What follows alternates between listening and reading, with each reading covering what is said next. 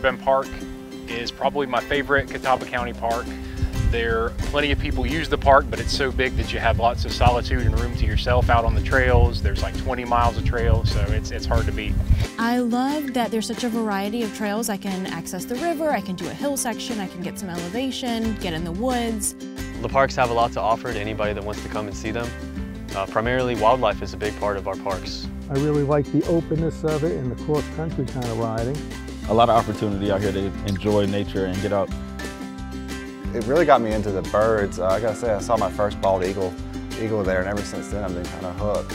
Whenever life gets overwhelming or uh, just stressful, I come out here and I just sit and I listen to the birds and I listen to the stream and just relax.